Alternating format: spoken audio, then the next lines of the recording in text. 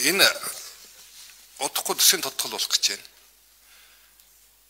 Та Монгол газрын дос боловсруулах төрийн өмчт одоо хязгаарлагдмал хариуцлагатай компани маань урсгал зардлаа төсөвт одоо суулгаж чадчих байгаа юу? Одоо Эрдэс Монгол дээр л яваад байна шүү дээ. Ер нь одоо юу гэдгийг Монгол газрын дос энэ төрөмжт компанийг яг хэн хариуцдаг юм? Шадар сайд хариуцдаг юм уу? Уулуурхай яам хариуцаад байгаа юм уу? Эрдэнэс Монгол хариуцаад байгаа юм уу? Засгийн газар хариуцаад байгаа юм уу гэдэг дээр нэг тодорхой хариулт хэлээд өгөөч. Одоо ингээ хараад хахад хэн хариуцж байгааг мэддэггүй. Анх бол одоо бид нар юу гэдгийг 4 сарын 25-нд Монгол Улсын шадар сайдад газрын тос боловсруулах үйлдвэрийн бүтээн байгуулалтын явцын талаар мэдээлэл өгөөч гэдэг ийм асуултыг тавьсан. Тэгээ шадар сайд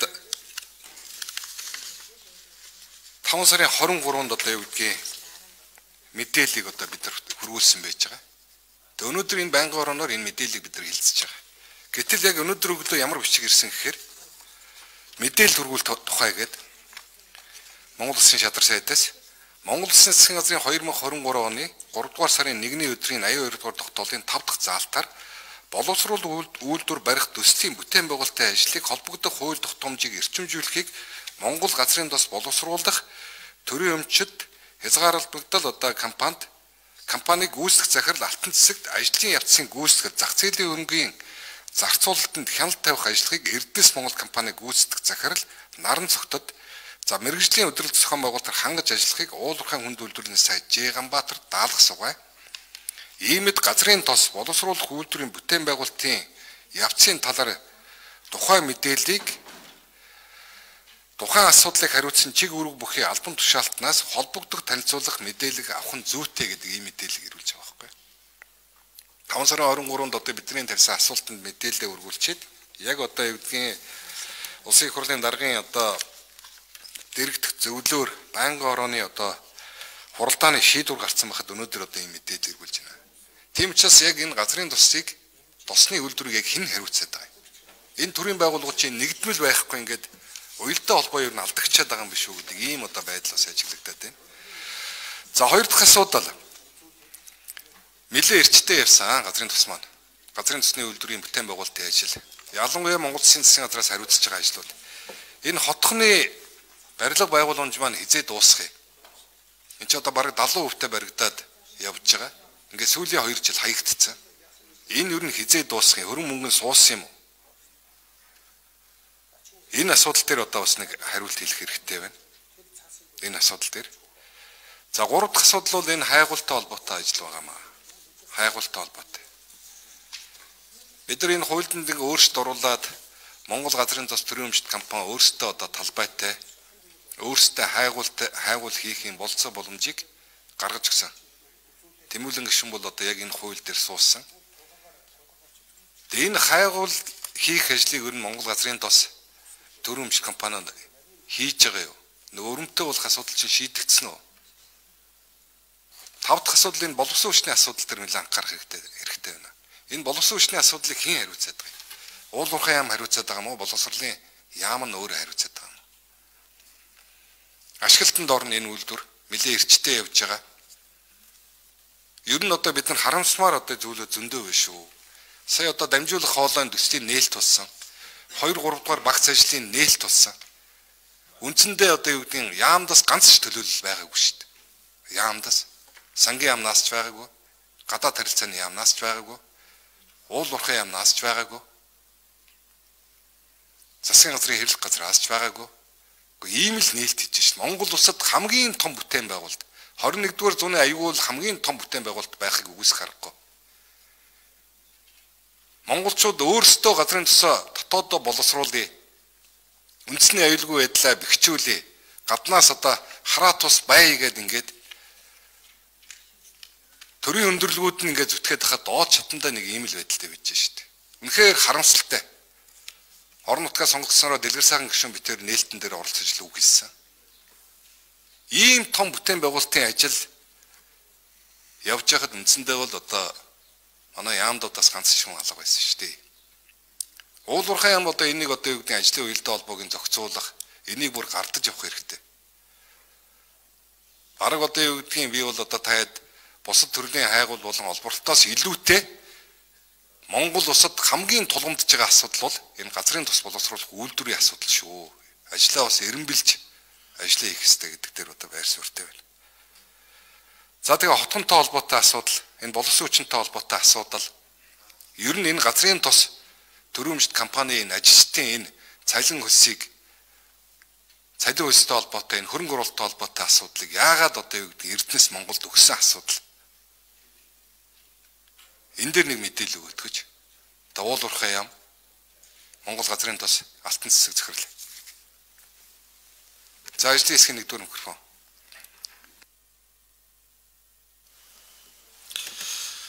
За газрын тус боловсруулах үйлдвэр төрөмжт хязгаарлалт хөтөлбөр хариуцлагатай компанийг Эрдэнэс Монгол компани өгдөг үндсэн зорилго нь бол за хөгжлийн банкнаас авсан зээлийг төлөх хугацаа ихэлсэн дахиж зээл олох боломжгүй болсон. Үүнтэй холбоотой урсгал зардал санхүүжүүлэлтийг Эрдэнэс Монгол компани одоо Монгол улсын бусад одоо томоохон төрөмчт компаниудыг толгоолж байдаг тодорхой хэмжээний орлоготой компани учраас учраас уг санхүүжилтийг хариуцж ажиллах одоо ажиллахыг үүрэг болгож манайх бол уул уурхай хүнд үйлдвэрийн яамны хувьцаа эзэмшигч эрхийг шилжүүлсэн байгаа. За уул уурхай хүнд үйлдвэрийн яамны хувьд бол За газрын тус боловсруулах үйлдвэрийг мэрэгжлийн удирдлага удирдлагаар хангаж ажиллах үүргийг хүлээсэн байгаа. Энэ үүргээ хүлээгээд ажиллаж байгаа. За боловсон хүчний асуудлын хувьд бол техник эдийн засгийн үндэслэлээр тусгагдсан байгаа. лицензтэй одоо байрлал байгууламж, техник технологиг барьж байгуулж байгаа компаниуд боловсон хүчнийг сургах үүрэг хүлээсэн байгаа. А дээрэс нь бид шинжлэх ухаан технологийн их сургууль дээр тодорхой тооны оюутнуудыг одоо өнгөрсөн намраас илсүүлээд сургалтын төлбөрийн даагаад явж байгаа. Сургалтын төлбөрийн асуудал нэлээд удаашралтай байгаа. 7 хоногийн өмнө шийдэгдсэн байлээ. За энэ бичгийн хариу бол өнгөрсөн 5 дугаар сард очсон учраас бас энэ дэр тодорхой мэдээлэл байхгүй байх шиг байна. За. За ажтисхийн 4 4 дугаар микроныг өгөөрэй. За би аль асуултанд хариулахаас сайн мэдгэж манай компани чинь одоо газрын газрын тус боловсруулах үйлдвэрийг одоо хариуцах шадар сайдаар ахлуулсан ажлын хэсгийг 2020 онд ерөнхий сайдын захирамжаар бол байгуулсан. За тэр шадар сайдаар ахлуулсан ажлын хэсгийг бол татан буугдааг байгаа. А ажлын хэсгийн бүрэлдэхүүнийг бол шин засаг солигдсонтой холбоотойгоор ажлын хэсгийн бүрэлдэхүүн бол өөрчлөгдсөн. А татан буугдааг байгаа юм. За өмнө саяхан бол одоо энэ манай газрын боловсрол хөлтөд холбоотой тулгамдсан асуудлууд нэлээд одоо бүр ингээ газар авсны дараа мөн одоо ерөнхий сайдын захирамжаар сая өнгөрсөн 5 сард а засгийн газрын хэвлэх газрын дараагаар ахлуулсан ажлын хэсэг тэнд бол ерөнхий лигч намын газрын дарга уулуурхаан сайд нарийн бичгийн дарга нь үдгийг ингээд 4 5 хүний бүрэлдэхүүнтэй мажлисыг байгуулсан Эрдэнэс Монгол тариалуулсан гэж. Яг үүндээ одоо бид нар засгийн газар төр засагт мэдээлэл хүргүүлэх одоо засгийн газрын асуудлаа хэлцүүлэхдээ хаагур дамжуулахаа бас тодорхой сайн мэдэхгүй байгаа. За дараагийнх нь хотхны хотхон бол нийгэм эдийн засгийн маш их ач холбогдолтой юм төслөөс юм аа. За онцлог нь энэ ковид цар тахлын үеэр компаниуд энэ одоо манай тээвэр логистикийн асуудал асар их хүндрэл дагуулсан. За энийг отхны одоо туслан гүйцэтгэгч компаниуд гүйцэтгэгч компаниуд бол санхүүгийн бас нэлийн эрсдэлд орсон. Дахиад хөгжлийн банкны санхүүжилт дээр анхнаасаа л тасалдж эхэлсэн. Анхнаасаа л одоо тэр бас нэг тодорхой үүрэг гүйцэтгсэн. Уул нь бол одоо аа тийм бас бариад ууч боломжээс яг гэвэл хоёр үе шаттай баригдаж байгаа шүү дээ. Эхний үе шат нь үе шат жоох хоёр хэсэгт хуваа. Зэрэг ихс шахуу ихэлсэн ирнэ. Нэгдүгээр хэсгийн эхний барилга бол ашиглалтанд орсон бид нар энийг эзэн засгийн эргэлтэнд оруулаад ингээд өөрсдийнхөө одоо зорилгын дагуу ашиглаж байгаа. За хайгуултай холбоотой та ярьж бид бол одоо бас за хайгуултай холбоотой одоо энэ хэсгийг манай газрын тусны хайгуул олборлолтын газрын дарга доктор Буян Арвжих одоо хариулнаа. Ажлын хэсгийн 7 дугаар микроныг өгөөрэй. За. Байна уу? Тэгэхээр Монгол газрын тус боловсруулах үйлдвэрийн хайгуул ашиглалтын газар бол давс 31 талбай дээр хайгуул хийж байгаа. Бид нар бол Петрочана Дачин тамсаг компани давс 31 талбайгаас авсан геофизикийн өгдлүүд төр геолог геофизикийн тайлал ажлуудыг хийж байна. Одоогийн байдлаар бол бид нэр ер нь газрын тос агуулга өндөр магадлалтай 3 талбайг ялгчихад байгаа. Энэ дотор бол нэг 7.7 сая барайл ашиглах боломжтой газрын тос нийцлэгүүнийг тооцсон одоо зөвхөн энэ дээр бол хайгуулын цооног өрөмдөж шалгаж үзэх шаардлагатай байгаа юм.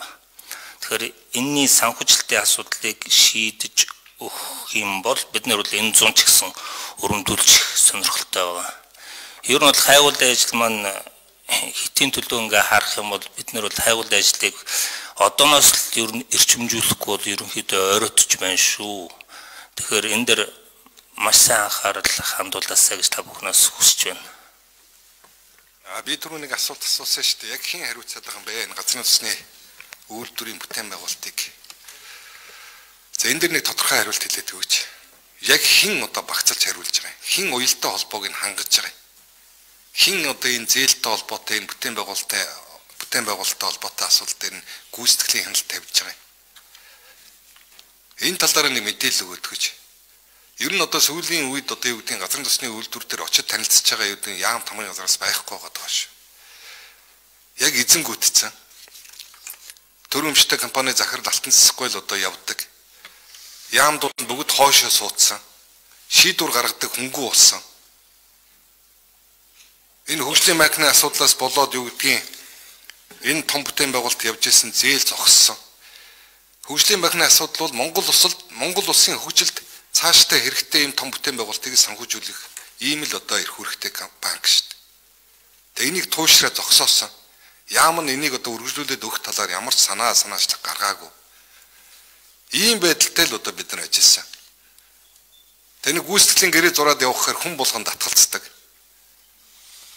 Тэгээ газрын засгийн бүтээн байгуулалтын ажил хэр төвшөнд явж байгааг хэн ч мэддэггүй.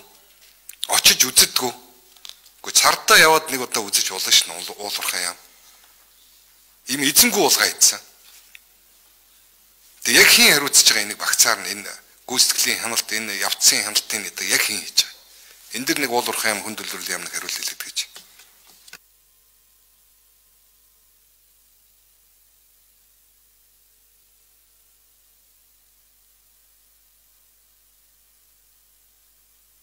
За ажлын хэсгийн 2 2 дугаар микрофоныг өгөөрэй. За би засгийн газрын 82 дугаар тогтоолол хэлэх гэж байна энэ тогтоол дээр эзэмшигчийн эрхийг хэрэгжүүлэгчээр Эрдэнэс Монгол компаниг тогтоогоод за ажлын явц гүйцэтгэл зээлийн хөрөнгийн зарцуулалтад хяналт тавих үүргийг Эрдэнэс хэмжилд өгсөн байгаа. Тийм болохоор таны ярьж байгаа сая энэ зээлийн зарцуулалтын асуудлыг Эрдэнэс хэмжил хариуцж байгаа гэж ойлгож болно. За За за тэгээд энэ дээр анхаарна үстэй Эрдэнэс Монгол хариуцж чадахгүй шүү дээ. Энэ мэрэгжлийн байгууллагын асуудлыг. Тэгээ бүхэл бүтэн одоо уулуурхан хүнд үйлдвэрлэлийн яам байж энэ асуудлыг одоо бас таад өөрсдөө олж хардггүй. Яаж Эрдэнэс Монгол хариуцаад явж чадах юм? Эрдэнэс Монголд ч яг ийм мэрэгжлийн хүмүүс байгаа мó? Байхгүй шүү дээ. Би наран цагц одоо дарахтаа уулзсан анхнаасаа л одоо юу гэдгийг бүтэц зохион байгуулалтын асуудал, санхүүжилтийн асуудлыг бол та маш том алдаа хийсэн. Монгол улсын ерөнхийлөгчөөс ахгуулаад энэ том бүтээн байгуулалтыг эрчимжүүлээ хугацаанд нь дуусгая гэдэг ийм санаачлаг гаргаад ажиллаж байгаа таад бол бүх юмс зайлсхий зугцсан. Ерөөсөө хонос нь явдггүй жишээлтэй. 2023 оны төсөв суулгаж чадаагүй болохоор таад Эрдэс Монголд хүчээр өгсөн байлээ. Энд чинь бүхэл бүтэн уулуурхын яам байж энийг нэг өөрсдөө хариуцаад 2022 онд нь энийг одоо юу гэдгийг төсөвд суулгая гэдэг. Төсөв санхүүжиж байгаа юм нэгжийн байгууллага зөндөл байж байгаа шүү дээ. Хөшгтийн үндийгээл байж л байна. Зам үдийн эдийн засгийн чөлөө төсгөө шууд шууд төсөв санхүүжээд явдаг байгууллага зөндөл байж шүү дээ. Ийм тогтолцоог л хийгээд явах юмыг ажлаа цаг хугацаанд нь хийгээгөө 2023 оны төсөв батлагдсан. Тэгээ Эрдэс Монгол руу хүчээр өссөн асуудал байгаа юм билээ шүү дээ. Тэгэхээр энэ том бүтээн байгуулалтан дээр таад өөрсдөө анхаарах хэрэгтэй. Цаашдаа тэр Ганбаатар гишүүний хэлдгэр бол одоо юу гэдгийг бид нар бас энэ үйлдвэрчдийн байнгын орон дээр энэ гайл дээр нь одоо юу гэдгийг энэ сангийн яам уул уурхай яам Эрдэнэс Монгол гадаад харилцааны яамыг одоо бүгдийг нэгтгсэн ийм мэдээллийг ийм хилцүүлэгч гэсэн зохион байгуулах шаардлагатай юм байна. Хөгжлийн банк банк гэдэг. Гадных нь энийг дуусгачээ. Энийг одоо хурдан явуулаад дуусгачээ гэж санаачлагтай ажиллаад байхад бид нар өөрсдөө л дуудчтанд ингэж ямар ч санаачлаг байхгүй ингээл байж штт. Очиж үздэггүй. Бүтээн байгуулалт нь ямар явцтай байгааг мэддэггүй Тийм учраас энэ асуудал дээр онцгой анхаарахгүй бол одоо тэр тэмжин дээр байж байгаа замуудын одоо ирээн дээр байж байгаа энэ одоо бараа бүтээгдэхүүн чинь тэндээ байгаад гайл нөтийн татвараас эхлүүлээд машин тоног төхөөрөмжийг буцаах асуудлаас эхлүүлээд энэ эрдэнэ одоо энэ газрын тус төрөмжт одоо үйлдвэрийн газрын санхүүжилтийн асуудлаас эхлүүлээд нөгөө урд нь одоо хөгжлийн банкаар санхүүжүүлээд явж исэн барилга байгууламж нь зогссон. Энийг гүйцээж дуусгахаас эхлүүлээд Монголын засгийн газрын одоо хүлээх энэ ажлууд орхигдсон байгаа юм билээ шүү. Энэ дээрээ бас нэлээд санаачлагтай бас санаачлах гаргаж одоо ажиллаарай. За тэгээд гişүүд асуулт асууж үхэлж дууслаа.